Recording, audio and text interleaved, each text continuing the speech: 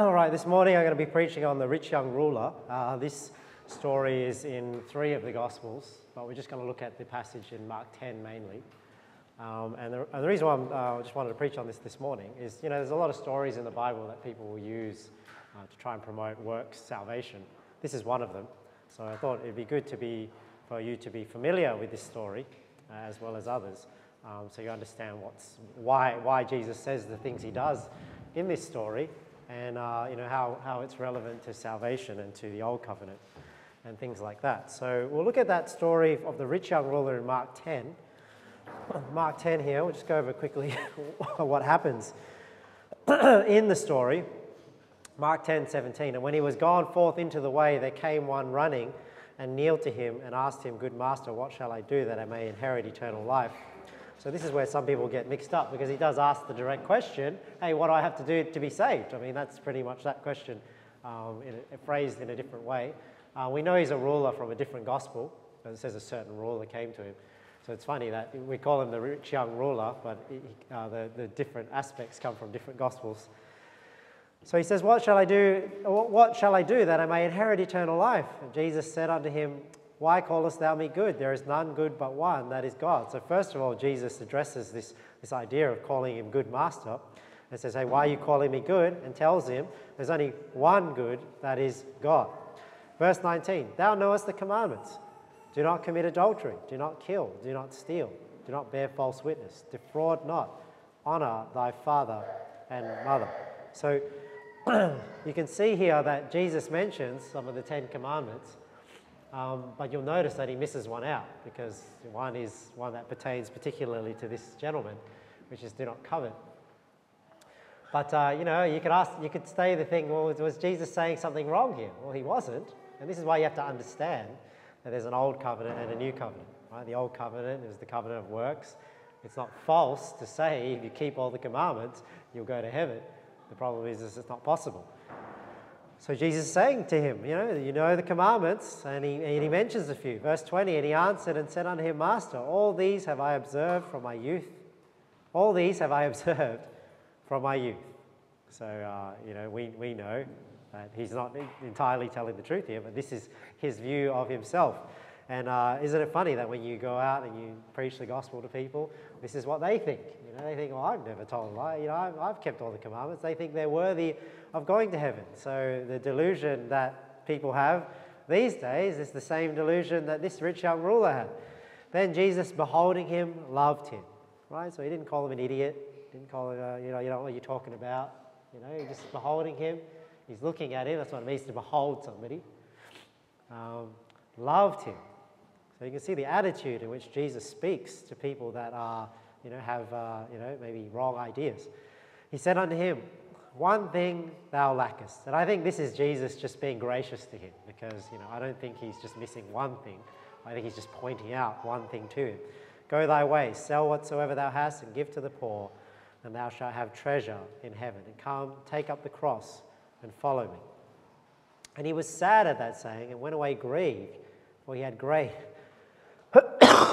possessions. And Jesus excuse me, looked round about, saith unto his disciples, How hardly shall they that have riches enter into the kingdom of God? And the disciples were astonished at his words. Jesus answereth again and saith unto them, Children, how hard is it for them that trust in riches to enter into the kingdom of God? It is easier for a camel to go through the eye of a needle than for a rich man to enter into, into the kingdom of God. And they were astonished out of measure, saying among themselves, Who then can be saved? And Jesus, looking upon them, saith, With men it is impossible, but with God, uh, but not with God, for with God all things are possible. So we'll come back to the, to the lesson there, but you can see where it's going if you just read the whole passage, right? If you just read the whole passage, you can kind of find out the answer for yourself, but we'll go through it a bit more in depth this morning. Now, how do we know he's a young man? Because I was asking myself that question, and I knew it was in one of the stories. I was like, I know he's a rich, rich, he's a rich ruler, because it says that in, I think, uh, in, in Luke. But in Matthew 19, you can see here, but when the young man heard that saying, he went away sorrowful, for he had great possessions. So this is why we know he's called the rich young ruler. So, You can see there how this story is often used to teach of the false doctrine of work salvation. And uh, I think it's, it's good to understand the whole story. And if you read through the whole story like we did in Mark 10, you can see uh, what Jesus' purpose is in how he dealt with that rich young ruler. You, you might say, well, you know, that's a little unfair. Why didn't Jesus just speak plainly? But, you know, that was not Jesus' method in the New Testament. When you see Jesus dealing and teaching things, he often spoke in parables, he often spoke in dark sayings. He didn't necessarily answer things directly. But that's what we see in the New Testament. So we don't necessarily, when Jesus was out publicly teaching and preaching, it was sometimes a bit cryptic. But you can see when he spoke privately, you know, when he spoke with his disciples, when he spoke with Nicodemus, he did speak plainly in those instances. So it was his public teaching that sometimes was a bit cryptic. But then we also have the New Testament, where we have Jesus' disciples then going and teaching and writing epistles, that the teaching is very plain, and we learn more about what Jesus taught his disciples in private. And, uh, you know, we see there Nicodemus in John 3. So, what are a couple of things? There's three things that we want to pull from this story of the rich young ruler. Is number one, we see that Jesus is God. Jesus is God right? There's a lot of false religions out there that teach that Jesus is not God, Jesus is just, just a man. Some religions teach that Jesus is an exalted angel. They say, like, yeah, he's an exalted man, but he's just a man nonetheless. Uh, but that's not the case. All those positions are heresy, right? With Jesus, you must believe Jesus is God, that Jesus is God in the flesh. And where sometimes people get confused is they'll say, well, is Jesus God or is Jesus the Son of God? Well, he's both, right? Because when God was manifest in the flesh, that child, that man that was born, was called the Son of God. So we have God manifest in the flesh, is the Son of God, but you also have you know, God in heaven, but it's all the, the one God. Just think about it like this it's like when you take on a job, right? If you take on a role, then you're, you're not changing who you are, right? You've just taken on a new role. And that's how I like to think of it when God was manifest in the flesh. He took on this role as the Son of God, but he didn't stop being who he was. And we see here when the rich young ruler comes to Jesus and mentions to him, he says, And when he was gone forth into the way, there came one running, this is the rich young ruler, kneeled to him and asked him, Good master, what shall I do that I may inherit eternal life? So before Jesus answers this question, he, uh, he, he responds to this, this, this idea that he's saying to him, Hey, you're calling me good. Jesus said unto him, Why callest thou me good? There is none good but one, that is God. So, what he's saying to the rich young ruler is Do you, you recognize that you are acknowledging me as God if you call me good master? And that's what we do believe that Jesus is God. Here's a couple of verses talking about Jesus being God. 1 Timothy 3 16. Without controversy, great is the mystery of godliness. God was manifest in the flesh, justified in the spirit seen of angels, preached unto the Gentiles, believed on in the world, received up into glory. So you can see here that these are all things that Jesus Christ did, right? Jesus was justified in the Spirit, seen of angels, preached unto the Gentiles. Who's preached unto the Gentiles? The Lord Jesus Christ. Believed on in the world. Believe on the Lord Jesus Christ and thou shalt be saved. Received up into glory. Who was received up into glory? Know, the day of Pentecost. Well, you know, Jesus. Oh, no, sorry, not the day of Pentecost. That was later you know, he was received up as they looked up. You know, they saw him taken with the clouds. Well, who was this man? God. God was manifest in the flesh. So it wasn't just a man, he was God indeed. John 1 1. In the beginning was the Word, and the Word was with God, and the Word was God. So this is this paradox of the Trinity where you have people, persons of the Trinity with one another, these identities with one another, but they are one another as well, right? In the beginning was the Word, the Word was with God, and the Word was God. The best way I like to think of it is I think, I think the best way to describe it is three identities that are the one Spirit, because we see the Word, the Father, um, we see the Holy Spirit, obviously, is Spirit. So we have three different roles or identities, but are the one Spirit. And I think the best analogy I've talked about the Trinity the, before. I think the best analogy to, to understand the Trinity is water. How water can exist in three forms solid, liquid, gas, but it's all water. And I think that's, how, that's why the, I think the, the, the Bible describes the Spirit as like water. You know, we're washed with the Spirit, we're baptized in the Spirit, things like that. So this word with God, word was God. We see here in verse 14, John 1 14. The word was made flesh and dwelt among us, and we beheld his glory, the glory as of the only begotten of the Father, full of grace and truth. So why, why is it that when he called him good master, he was acknowledging him as God? Because only God is good, right? So if Jesus was good, then he must be God. Why? Because no man is good. Look at some verses where the Bible clearly says no, no man is good. Every man is a sinner. Jesus was the only sinless one. Romans 3.10, as it is written, there is none righteous, no, not one. There is none that understandeth. There is none that seeketh after God. See, this is why we have to go into all the world and preach the gospel. This idea that people will come to you to ask about how to be saved, to ask about God. You know, the Bible says people aren't seeking God, right? God seeks them. This is why people people are responding to God's drawing. Right? People are responding to God's calling. People are responding to God's people going out and preaching the gospel right? This is why we can't have this expectation that believers, unbelievers will come to us to hear the gospel. We take the gospel to them. They are all gone out of the way. They are, they are together become unprofitable. There is none that doeth good. No, not one. Now, if you didn't know, Romans 3 is actually a quote from Psalms. And it's actually in two Psalms. I think it's Psalms 53 is the other. Psalms 14. So you can see the quote. This is the quote um, from, in the New Testament, slightly worded differently. The fool had said in his heart, There is no God. they are corrupt.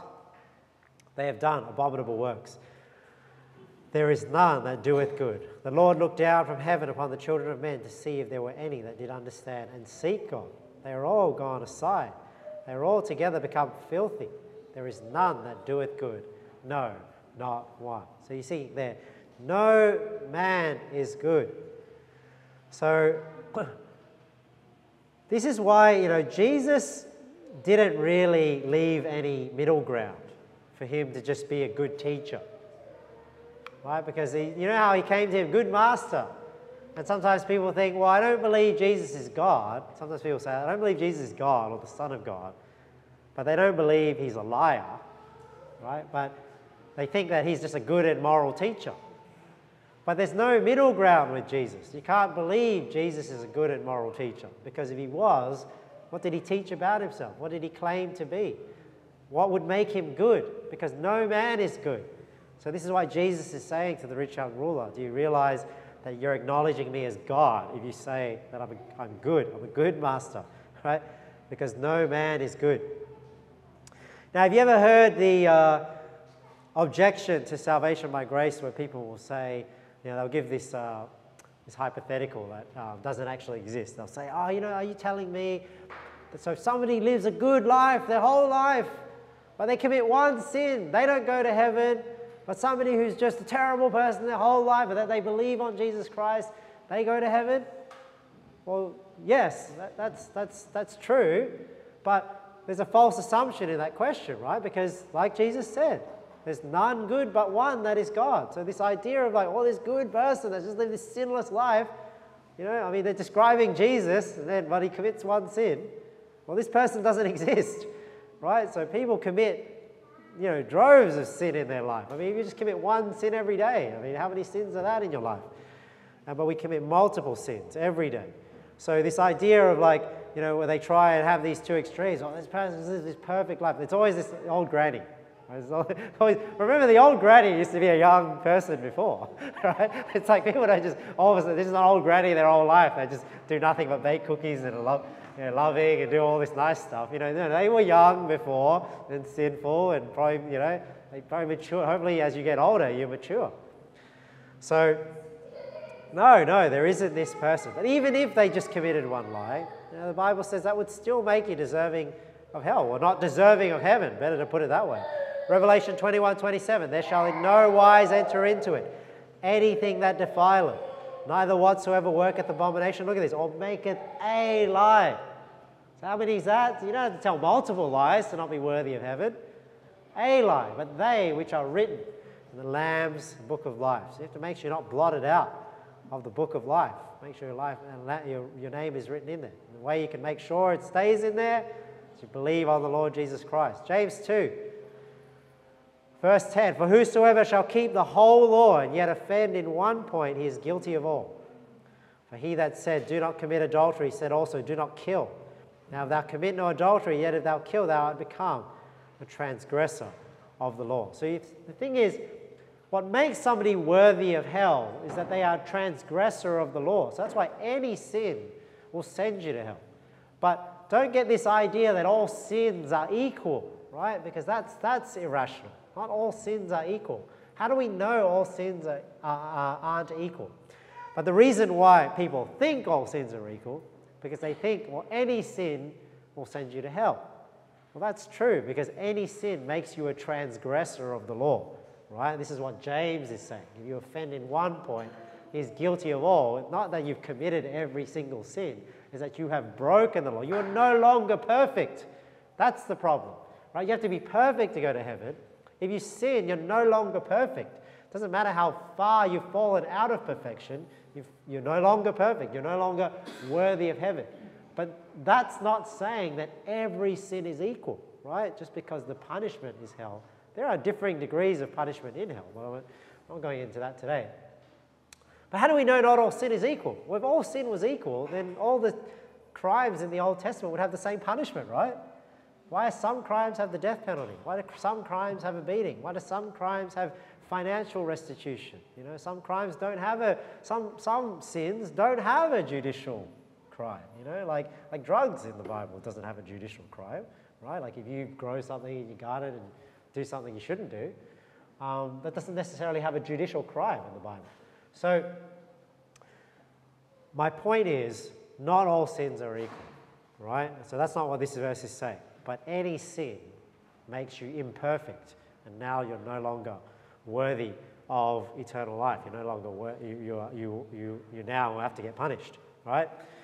So that's my first point with the rich young ruler. So Jesus is God because only God is good.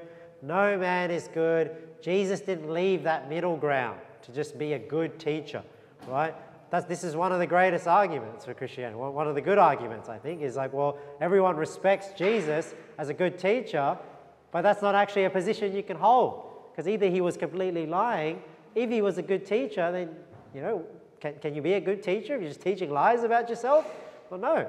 But if you're teaching that you're the Son of God, that you're God in the flesh, you know, that you're the only way to heaven, well, if you're a good teacher, then you have to accept him as God as well, which is what he's saying to the rich young ruler. So, Jesus is God. Number two, the thing I want to talk about is make sure we understand that being rich is not a sin. See, the problem with the rich young ruler is not that he was rich, right? And we'll talk about, um, you know, his, his, how it ties into salvation later. But being rich is not the sin. There's nothing wrong with having wealth. There's many wealthy people in the Bible. Abraham was wealthy. Joseph was wealthy. I mean, Joseph was running Egypt, right? Joseph was wealthy. Job had a lot of wealth before he lost it all. But remember, you read all the book of Job, he got it back at the end, right? So he got it back at the end. He had more children. So plenty of people that had plenty of wealth. David was a king. You know, Daniel would have been very well off as well, being one of the nobles, one of the wise men in, in Babylon. So Uh, a lot of people, had, a lot of righteous people in the Bible had a lot of wealth. So it's not, not that, you know, we're not talking about the prosperity gospel saying if you're a Christian, you will necessarily be wealthy. But we don't want to go the other way too, because it's not necessarily a wrong thing to have wealth, right? What is the problem with wealth? What's this, this idea that if your purpose in life is just to build wealth. That is the problem. And, and unfortunately, too many people do live just for wealth. You say, well, I'm not living necessarily gold and silver, but how many people just live their life just want to have a house? I want to be out on holiday. I want to just be able to retire and live my life. Just, just this idea that you're just living for pleasure and living for the things of this world rather than the things of eternity. 1 Timothy 6. But godliness with contentment is great gain. I'll just stop here because, you know, this verse, and, and, and the reason why I think it's important as Christians have this balance, because it's not, it's, it's not right at the two extremes. You know, it's not right to say, you know, you just live, you know, Joel Osteen, you know, best life now, you, you have to be healthy whether you're not, there's something wrong with your faith. But it's also not right the other way too, to say like, oh, you know, if you're really righteous faith, you have nothing, you know, and just sell everything and all that. And just live on the street, because ultimately when people live that way, they end up living off the hard work of others. You've seen that. When people, they, they, they believe they're, they're trying to live like this righteous life where they don't have any possessions and everything like that, but they end up having to live off other people's hard work. Right? So we don't want that either. So the reason why I'm stopping at this verse is because I've often heard this verse used to stop people from being ambitious. Right? What does it mean by ambitious? Like trying to excel in life. You know, there's nothing wrong with trying to excel, get a better job, get a higher income. The problem is, what do you do with that? You know, what's, why are you doing that? This is the question that must be asked. So this verse is not teaching that, you know, there's nothing, that, that you ought not to be, to strive for excellence. You ought not to strive to be ambitious, strive to, you know, be a better employee, be a better boss, have a more successful business, those sort of things. Hard work is good. What content is saying, what, what is contentment? Contentment doesn't mean that you're just, you know, um, what's the word? Kind of complacent. That's what sometimes people think contentment is. Like, I don't want any more. No, contentment means that you're happy. Right? So you can, you can be happy whether or not you achieve that or not. And, and the great test to see, hey, godliness with contentment is great gain. The, the great test is when you don't achieve those goals. You know, let's say you strive for something and you don't get it. Are you still happy? Guess sometimes people, they strive for something, they don't get it, maybe it's that job or they want to start that business, they do that thing, that thing, and then their life just comes crumbling down. You know, they get depressed and, you know, well, you know, are you content with such things as you have? You know, what about if you lose that thing you work so hard for? You know, that's the great test of godliness with contentment is great gain. It's not saying that you shouldn't have any ambitions in life. For we brought nothing into this world, it is certain we can carry nothing out, having food and raiment. Let us be therewith content.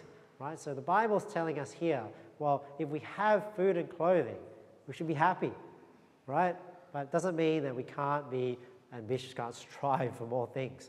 Right? 1 Timothy 6, but they that will be rich fall into temptation and a snare and into many foolish and hurtful lusts, which drown men in destruction and perdition. So it's not people that are rich, right, or people that work hard and have wealth. It's that they will be rich. It's that the purpose that they're doing these things is to be rich. That's the, the difference, right?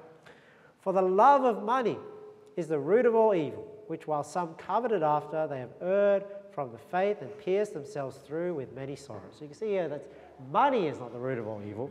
It's the love of money. So that ties in with those that will be rich. Will is not just a future tense like we use it. Will means they want to be rich. They that will, they want to be rich, fall into temptation and snare into many foolish and hurtful lusts.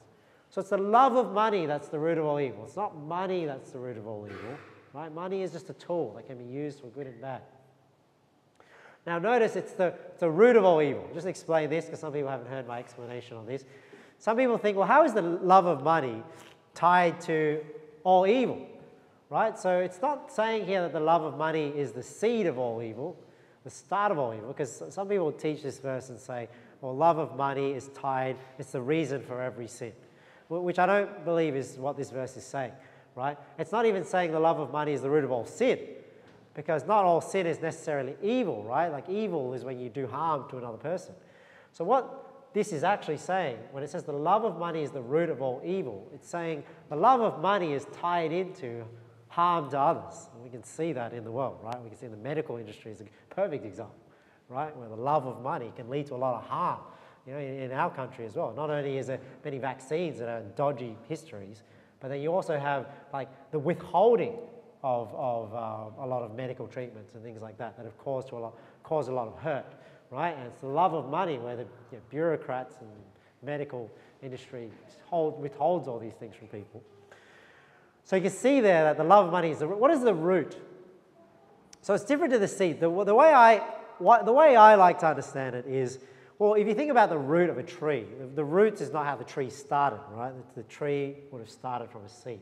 But the roots is what gives the tree strength. The roots is what, like, the how the tree gets sustenance from the ground. Soaks up the nutrients, the water, and things like that. So, the way I like to think of this is the love of money is really what strengthens and gives stability to evil in this world, right? And that's how I think that that should be. And that's why, you know, love of money is a really terrible thing because it perpetuates a lot of evil. they have erred from the faith, pierced themselves through with many sorrows.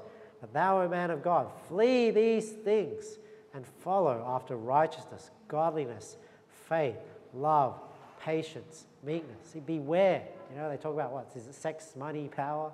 You know, beware of these things, right? Don't do these just for these sake, right? Because if you just follow riches just for the sake of riches, you're going to be like the, the rich fool, right? Fight the good fight of faith. Lay hold on eternal life, whereunto thou art also called, and hast professed a good profession before many witnesses. Jesus says here in Matthew 6 Lay not up for yourselves treasures upon earth, where moth and rust doth corrupt, and where thieves break through and steal. But lay up for yourselves treasures in heaven, where neither moth nor rust doth corrupt, and where thieves do not break through nor steal. For where your treasure is, there will your heart be also. So, how do you, how do you practically do this? The way you practically do that, I think I mentioned it in the previous sermon. How do you lay up treasure in heaven?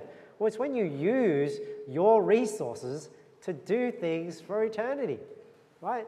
Think about it. Your, your resources are either measured in time or in material possessions. You say your material possessions is just a physical manifestation of the time that you've put into making those material possessions. So when people say you give of your wealth, it's no different to giving of your time, right? Because time requires time to make money, right? So how do you lay up treasures in heaven? It's when you use your money, you use your time to do things for the kingdom of God, things that help teach the Bible, teach the gospel, get people saved, help people to do those things as well. That's how you lay up treasure in heaven. You don't want your purpose to just be wealth.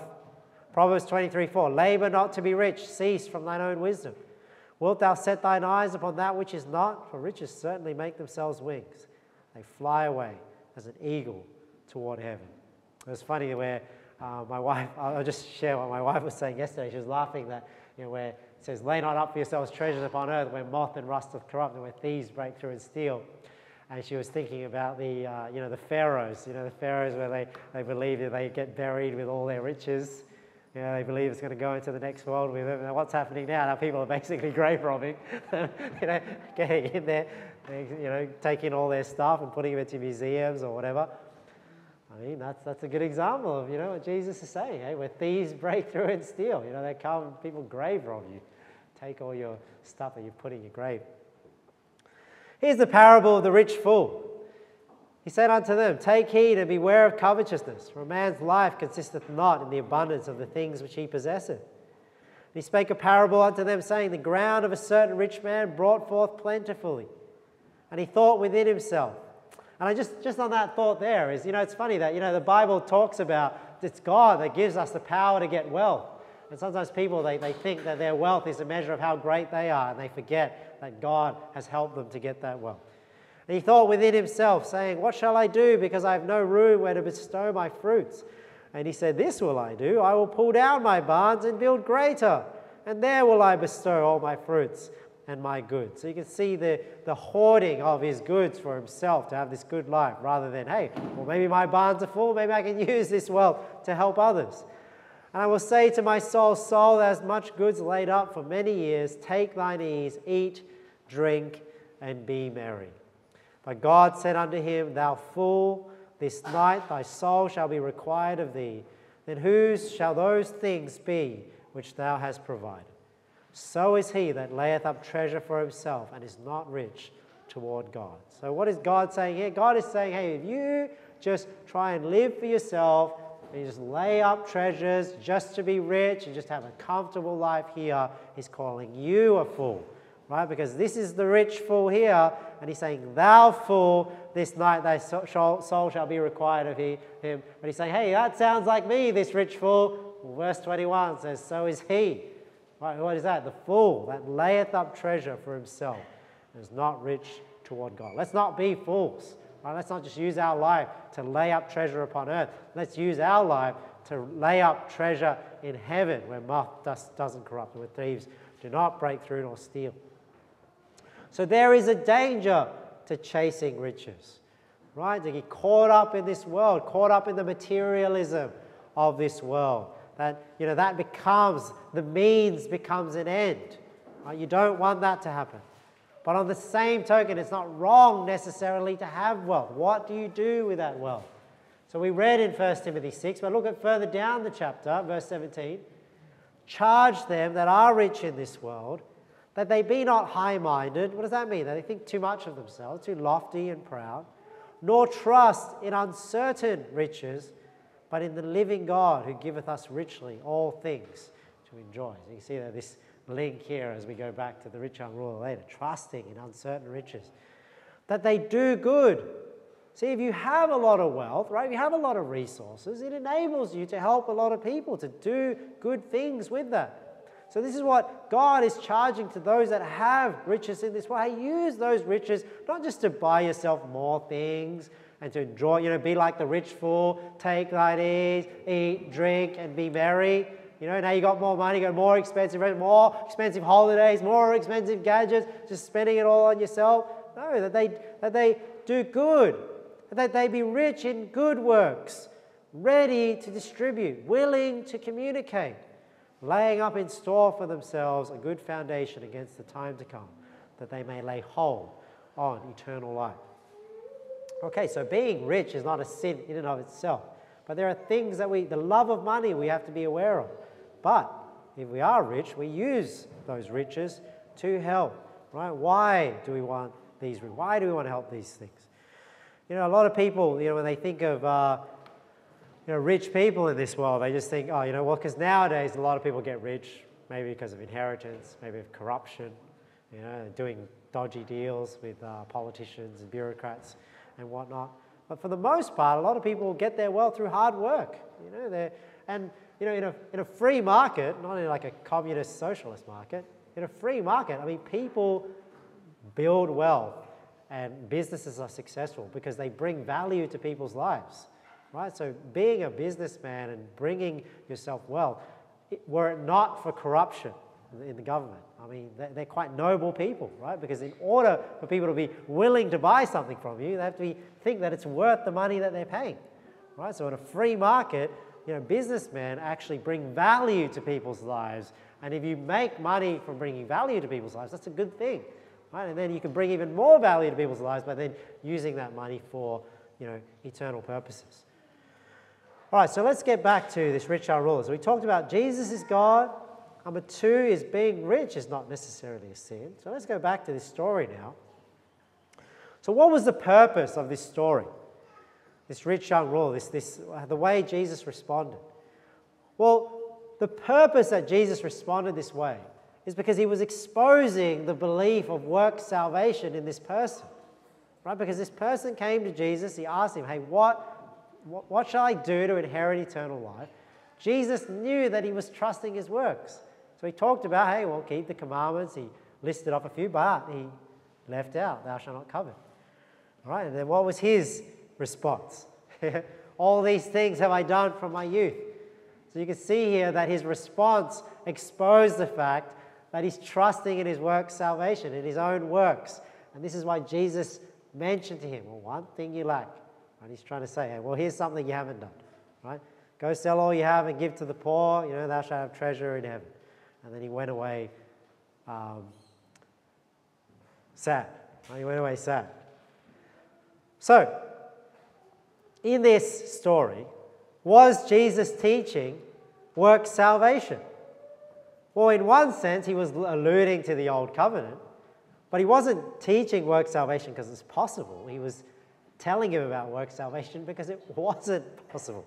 And when we see how he then turned to his disciples and explained things, you can see this is what he was getting at. So publicly, he was talking a bit cryptically, a bit dark. But what he was trying to do is he was trying to point people to the fact that they, they were trusting in their works and this was not possible, trying to get them to think differently. Mark 10, verse 20, Jesus looked round about and saith unto his disciples, How hardly shall they have riches enter into the kingdom of God. So you say, well, is there a problem with being rich? No. You might say, well, rich people, they tend to, you know, not, you know, trust in themselves, right? And they tend not to, to not want God. Well, that, that's, that's definitely a truth there. But is that what he's saying here? Is he just saying, well, if you're rich, it's hard for you to, to, to believe on Jesus Christ? Well, that's not necessarily what he's talking about in this context, even though that is what we tend to see in the world. We do tend to see people that are more well off tend to feel like they're a bit more self sufficient and they don't have that humility to need God, right, in terms of believing on Him for salvation. But what is this saying here? Well, he's saying, hey, if they have riches, verse 24, the disciples were astonished at his words. So now Jesus clarifies. Jesus answereth again and saith unto them, Children, how hard is it for them that trust in riches to enter into the kingdom of God? So you, you think about this and you say, well, they're trusting in riches. And you think, well, nobody's really like putting their faith in gold or silver to get them to heaven. So, so how does that tie together? The way I like to think of it is, well, like I told you before, your wealth is like a measure of your work, isn't it? It's your time that you put in to build that work. So when I believe what he's saying here is when they're trusting in their riches, because if you think about it, a successful person is very self-sufficient does a lot of work themselves. And they're probably thinking, well, this person does so much work and they're not getting into heaven. You know, well, how is anyone going to get into heaven? So this is why he clarifies. It's not just the fact that they have riches, it's that they're trusting in their riches. And I think that's alluding to the fact that they're trusting in their own good work, just like their own business. They, they work so hard, but that's not going to get them into heaven. How hard is it for them that trust in riches to enter into the kingdom of God. So you can see here now Jesus is now alluding to salvation by grace. Right? So this is not about salvation by works. It's not saying, hey, oh, do, you really think he's saying to this rich young ruler, well, if you did do this thing, then you would have earned your way into heaven? No, of course not, right? So he, he's saying these things to, to reveal to him, you have not kept the commandments, even though you claim to. Right? It is easier for a camel to go through the eye of a needle than for a rich man to enter into the kingdom of heaven. So, this is not talking about the difficulty for a rich man to believe on Jesus Christ. This is saying no matter how much works you have, no matter how successful you are in life, you're not getting into heaven, right? Because how can, can a camel go through the eye of a needle? No, it's impossible. So, Jesus is saying here, he's not saying that, oh, you know, I guess you could just like you know, kill the camel and then just like string him through this eye of the needle, you know, uh, you know, as a liquid. But no, what he's saying here, it's easier for a camel to go through the eye of a needle. He's making the point. Look, it's impossible, even for a rich man, to work his way to heaven, because working your way to heaven is impossible. And they were astonished out of measure, saying among themselves, so you can see here the, the amount of uh, like respect they have to people that are rich in this world, right? They say, well, all these people are rich, they're so capable, right? Who then can be saved? Do you see there that they're still thinking work salvation? Well, man, if a rich man can't get themselves into heaven, how can us? You know, we're poor, we have nothing. Jesus looking upon them saying, with men it is impossible, but not with God. For God all things are possible. Right? So you see there that what is this story of the rich young ruler? Is Jesus teaching them, oh, you know, I work your way to heaven. What must I do to inherit eternal life? Well, you just make sure you keep the commandments. You're just missing a few. Just do them. No. He's pointing out that you haven't kept the commandments. Right? In fact, it's impossible. Even a rich man can't get himself to heaven. But with God, all things are possible. Why? Because if we believe on Jesus, that's how we get to heaven. Right? So this is what this how this story should be understood. Now, this is the danger of building doctrine of stories, right? Because stories need to be understood with doctrine. You can't understand this story correctly if you don't understand salvation. You can't have it the other way around. You can't then misinterpret all the salvation verses because you have a story that you've misunderstood. But you can see how people use this for work salvation. I want to compare this with Luke 10. this is the second last passage I'm going to. Luke 10. This is the parable of the Good Samaritan. We see here a very similar example with the rich young ruler. I want to show you that Jesus deals with it the same way. Behold, a certain lawyer stood up and tempted him, saying, Master, what shall I do to inherit eternal life? So this is not the rich young ruler, this is now somebody else right? A lawyer asking Jesus, hey, what do I do to go to heaven? But he's looking for, like, what works do I need to do to go to heaven? He said unto him, What is written in the law? How readest thou? Saying you're a lawyer, it's like, What do you read? How do you understand it? He answering said, Thou shalt love the Lord thy God with all thy heart, with all thy soul, with all thy strength, and with all thy mind, and thy neighbor as thyself. So this is different. Now he's not listing out the Ten Commandments, now he's giving the two great commandments to love God with all your heart, mind, soul, and strength, love your neighbor as yourself. He said unto him, Thou hast answered right. This do, and thou shalt live. So is Jesus making a wrong statement there? No, because if you, you know, because you can hang all the law of the prophets on these two commandments, if you kept them, you would go to heaven, right? But the problem is you don't. So he's trying to reveal to him, you haven't done these things. Hey, if you do this, thou shalt live. Look at this, verse 29. But he, so he knows that he's not keeping these, right? But he, look, willing to justify himself. You're not justified by faith, not justified by the sacrifice, you know, the death, burial, resurrection of Jesus Christ. Trying to justify himself that I've kept these commandments. Said unto Jesus, and who is my neighbor? So you see the response from the rich young ruler, right? The response from the lawyer showing you that they're trusting in their works. So this is what Jesus is pulling out. This is what he's trying to reveal to them. Jesus answering said, so now he's saying, well, he's trying to say he's kept it, but who is my neighbor? You know, maybe I've kept it, but we, what's the definition of neighbor? And then this goes into the parable of the Good Samaritan. Jesus answering said, a certain man went down from Jerusalem to Jericho and fell among thieves, which stripped him of his raiment and wounded him, departed, leaving him half dead. And by chance, there came down a certain priest that way, and when he saw him, he passed by on the other side. So the idea of this parable is that these supposedly religious, holy people don't even want to have a bar of just helping someone, they don't have any love. So what's the difference? A priest is descendant of Aaron. Do you remember Aaron and Moses? Brothers? I believe Aaron was the older one. Aaron. So the priests were descendants of Aaron. They had special responsibilities in the tabernacle. he comes down, saw him, he passed by on the other side. So that's sometimes, you know, when you're walking down the drive, they see something, and they got to cross the street, they go down the other side. That's what he's doing.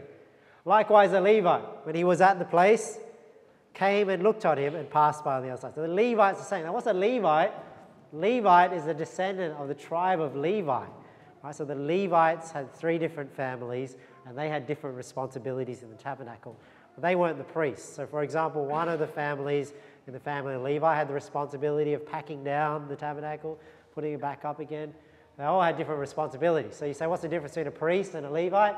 Priest is a descendant of Aaron. Aaron was a Levite, though. Aaron was in the tribe of Levi, same with Moses, right?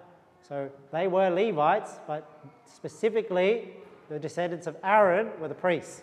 And a Levite is just anyone that was of that tribe. They weren't necessarily priests.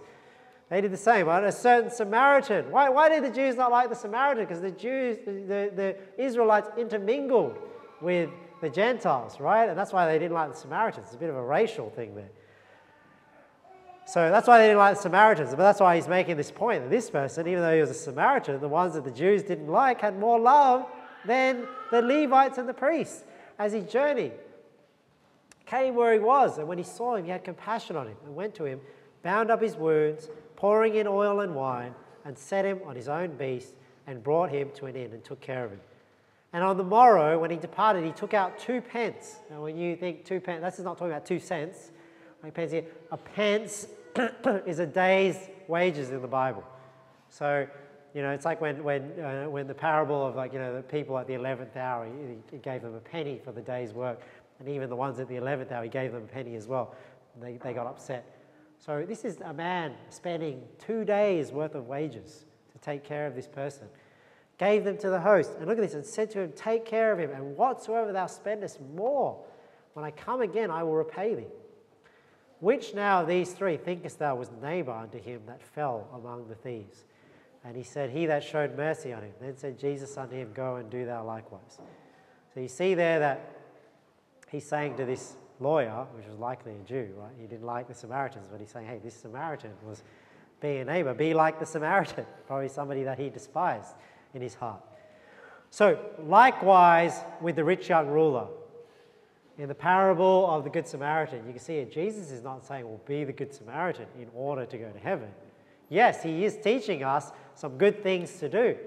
But what was it in response to? In response to him thinking he could justify himself by thinking he had loved his neighbor as himself and loved God with all his heart, mind, soul, and strength. And he's showing to the lawyer, no, you haven't.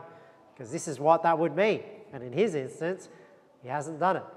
Right? So now when you read Mark 10 26, now it all makes sense. They were astonished out of measure, saying among themselves, Who then can be saved? Jesus looking upon them, saying, With men it is impossible. Right? So, what is this verse talking about? This is talking about salvation. You know, even though we use this verse to apply to other things, hey, with God all things are possible. I believe that. But what is it specifically talking about? Salvation. It is impossible for a man to save himself. But with God, all things are possible. Why? Because of the Lord Jesus Christ. So hopefully you learn not just about, you know, the rich young ruler today, but about the parable of the Good Samaritan. Understand these stories, you know, understand these parables, how they should be understood in the light of salvation by grace. You know, and that way you don't get mixed up, you know, you don't get accidentally, you know, dragged back into under bondage, believing in work salvation. All right, let's pray. Lord, thank you for your word. I thank you, Lord, that you know we have a whole Bible that we can read, we can study, we can compare Scripture with Scripture, get a good understanding of you know why you said some of these dark, some of these cryptic sayings in the Gospels. So, uh, Lord, we uh, thank you for your word. Thank you that you've revealed the truth unto us through your word. And we pray and ask these things in Jesus' name. Amen.